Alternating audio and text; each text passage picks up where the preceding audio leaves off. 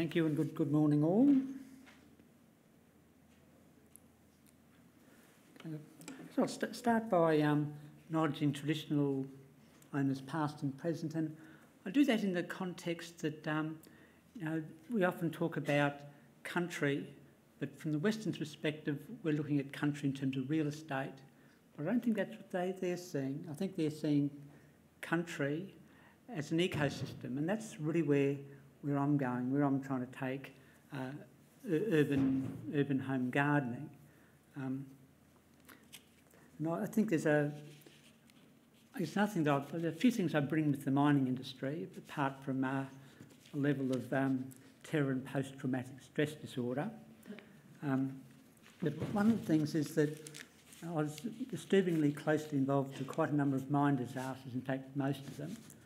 And one of the things we got out of that is actually a new health and safety legislation, which doesn't so much look at the symptoms of what's going on, but rather the underlying causes. And that's where I'm sort of want to take you guys today, look, thinking harder about what are the underlying causes of things that go wrong that we can then implement in our, uh, from my perspective, backyards, but from your perspective, whatever land care area you're working in. And so the, there's two levels. At one level, there's the, the, the thing that's um, overarching, which is things like the globalisation, the commercialisation, and um, the urbanisation. Now, these, uh, as individuals, we can do very, very little, but as a community, we can chip away at them. Um, so I suppose I'll sort of move, move into where the, the talk's going, and um, I guess basically the what I'm talking about in terms of uh, the case study from Brisbane is the work that Brisbane Organic Growers has been doing over the last sort of 40 odd years. And basically, we're a, a gardening club and an advocacy group that promotes the growing of fruit and vegetables and herbs in home gardens. But, but home gardens, it could be a balcony on a unit, um, it could be a community garden, it could be, like in my case, a, a backyard where I've got about 900 square metres, which is a very comfortable area to grow a whole lot of fruit and vegetables in. It could be a community garden. There's a, a lot of community gardens around the place. It could be a small farm, and there are little bits and pieces that might even um, relate to sort of some of the broad acre farms. Um, okay, so there's a number of, number of challenges out there. Can work? Yep. Um, I guess one of them is securing nutrient-dense foods. And again, one of the legacies that I bring across from the mining industry is the need to look very hard at our health. Right? And I'd actually run a, um, a health database for the coal industry, did analysis of um, 12,000 coal miners, found all this really interesting stuff the industry hated me for. Time to move on. I've moved on. So really I'm coming at this um, home gardening and land care perspectives from really that, that health perspective that what we're looking to do is to have a, supply of um, food that um, can uh, avoid having uh, toxicity issues. It um, uh, needs to avoid doing environmental damage. It needs to, um, I guess, connect with social change. Now, there's social change coming on in our environment in terms of the I guess the baby boom is sort of moving on.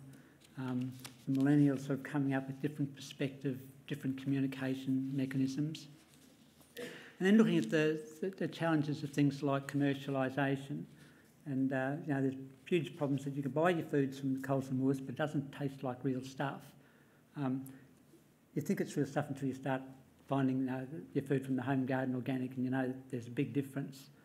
Um, supermarkets know they're, they're getting the, the food from anywhere around the world, rarely in your local area. And even if it's in your local area, it'll often go from your local farms down to some warehouse in Sydney or Melbourne, then back here three days later, and it's already getting a bit tired.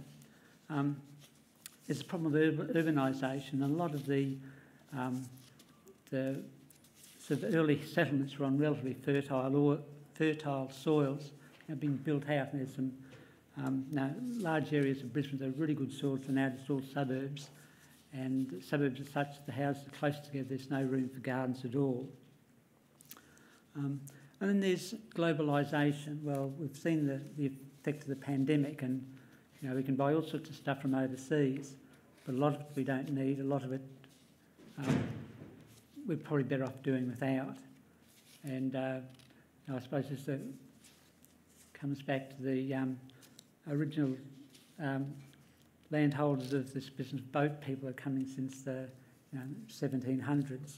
Um, know, there's, there's good things with commercialisation, urbanisation, globalisation, but we've got to sort out what's the good stuff and discard what's the, the bad stuff. And once, once the good stuff is some of the foods and um, uh, foods and medicines that have been grown by um, traditional societies for a long time that can bypass our um, somewhat fractured healthcare system. Okay, responses to challenges. Okay, so there's a few issues here that we need to have a look at. Um, I said there's, there's motivation. In other words, you know, we need to be driven. We need to get in our heads what's going to drive us forward. Um, having decided to move forwards, there's a question of information. In other words, if we, we haven't got the information to do the right thing, then we're going to go up the uh, down rabbit holes. And then once, once you get the information, then you've got to get those resources together. And I suppose a few other little things in there that um, I found there's sort of resistance to change at, at all sorts of levels. And there's a need to, to monitor the progress. And I've got here a photo of, of one, one of my various gardens, and the message here is this is a garden of exclusion, right? We're actually excluding the, the pests, we're excluding the natural predators, we're excluding the bees, right? And this is dealing with the symptom, right? The problem is that, we, is that there isn't a, uh, an ecosystem where everything feeds on something else and everything's happy. So uh, your tomatoes going to be eaten by the birds or the possums or the bats, exclusion's just fine. But for a holistic garden that's uh, an ecosystem within itself, we need to do better. Okay, motivation. Um, I suppose mo motivation is a lot about something that needs to be clear and simple and consistent with our values. So I guess one of the ways to get our head around a, um, a spectrum of things that we can move forward with this idea of having healthy soil, healthy plants, healthy environment and healthy people. That to me is encapsulates a lot of what the, the land care people are actually trying to do, but it starts the soil, right? And some people, most people don't have a lot of choice with soil, but do have choices to how you might improve it. Um, and I, I suppose, uh, you know, the picture I'm showing you, that's, uh, it's a happy place. We need to be happy in what we're doing. There's need for, um, for flowers, for productivity, um, and, and a large degree of resilience. Okay, so where, where do we get our information from? Um, a lot of value of face-to-face -face exchanges. Um, now they've got meetings, uh, site visits. Uh, there's written material and um, we've uh, produced a, uh, a planting guide that's quite specific to Brisbane but it gives you a good idea of um, how to grow, what to grow, what time frames to grow, what fertilisers. And these are things that need to be collated for whatever you're trying to grow, wherever you're growing. And there's things like sort of newsletters, websites, social media where there's this sort of ebb and flow of um, information. Okay, coming from a mining geological background, do a lot of work in soils. Um, and I suppose one of the disagreement between myself and a lot of soils people is that I look at soils from the rock upwards. Um, so this is a geological map of Brisbane. Now, the key information is there are a few areas of really good soils. Um, the red there is the, the, granite, which is really good for fruit growing because it's got a lot of potassium in it. Um, there's bits of orange there, and that's uh, volcanic basalt uh, country. That's uh, are really good for your, your vegetables. And so armed with this, and now I actually live in the, the purple patch here, which is appalling soil. I can deal with that because I know what I need to add. I need to add a trail load of basalt crusher dust, I need to add a trail load of decomposed granite, and suddenly I can produce all sorts of fruit and vegetables with just a little bit more um, carbon through forest mulch and some animal manures. Um, so organic matter is good, drainage is really important. So, and understanding the relationship between drainage and the plants you're growing. Some things love wet feet, some things hate wet feet. Understand your plants, then look at your, um, how that works within your soil. Um, moisture holding capacity. So in, in Brisbane we tend to have a, uh, a wet season, a dry season. So um, some, it's important to have that ability to hold the moisture in the soil in a dry season. As it turns out, we've missed a dry season. It's just been wet, wet, wet, as is most of the east coast.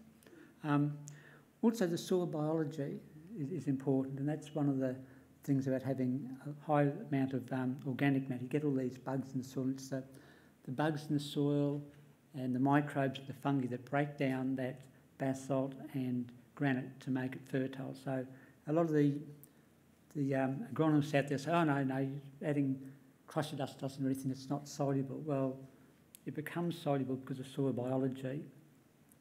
Um, I can't win an argument with them, so I take a step back.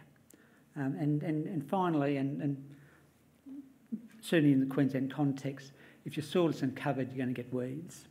Now, I think that's probably something that applies pretty widely in the, the land care community as well. Um, good layer of mulch is good until you get a scrub turkey then all that mulch gets scraped up into a, um, a mound for purposes of mating. I'm, I'm working on that one. Um, healthy plants. Um, so that again, it's there's a whole lot of things that we need to get our heads around. Um, one of them is planting the right time of year. Now, there's seasons for planting this and that and the next thing. You need to get that information. What is, what soil does that plant need? Um, and now there's plants like acidic soils, plants like alkaline soils. If you know what this plant wants, then you've got to actually adjust your soil by various means. It can be, you want to make it more alkaline, you've got choices of um, lime, agricultural lime, dolomite, or coal ash. Big fan of coal ash. Um, if you want more acidic, um, you've got to go for things like uh, some of the, the barks, the uh, bamboo, shredded bamboo, um, uh, casuarinas, um, they make a very acid, acidic bark. Um, another thing I often have a discussion with, with members of our uh, gardening community is fertilising stage of growth. Is when things are very small, they need to get their roots happening. So that's the need for potassium and phosphorus.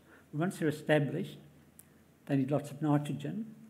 And if you want to get fruit, then you need potassium and um, potassium and phosphorus again. So you know, we, we fertilise things at different rates. Um, okay, particularly in the home garden, one of the things I look for is, is a long harvest. So instead of growing cabbage or a, um, a cauliflower, I'll grow kale because kale I can get close to two years of feeding out of. With a, um, a, a cauliflower, I'll get a week right? That having that long harvest period. And that then goes back to understanding your ecosystem and you need healthy food over that time frame. Healthy environment. Now, this is fantastic picture, this one. I, I try and have a bird-friendly environment, and if you can get a kookaburra to sit on your veranda rail, you know you've got a pretty happy environment. Um, so, you know, we're avoiding toxic chemicals. Um, we're creating a food web, which means lots of sticks, lizards, frogs, insects, spiders.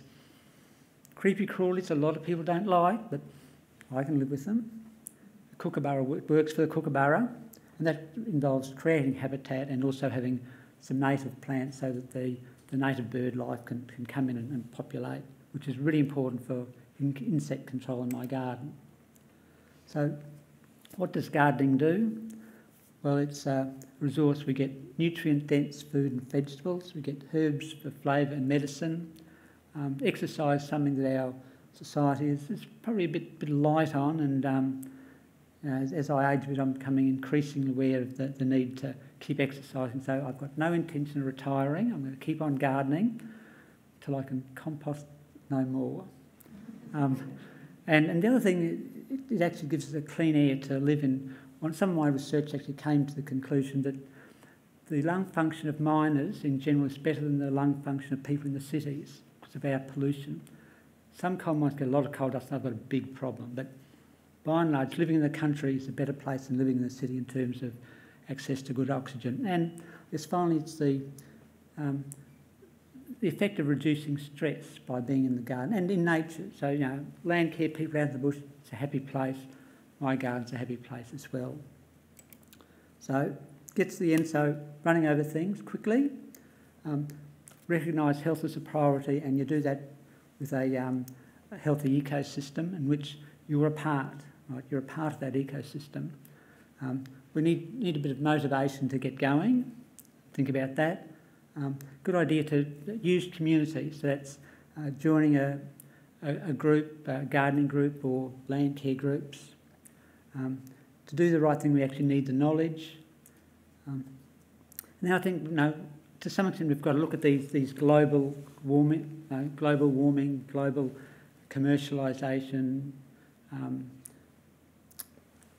and and you know, just be aware of what we do is that creating a problem or trying to address it.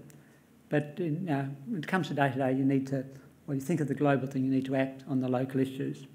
And finally, I suggest you go out and enjoy your garden and have a good time. Thank you.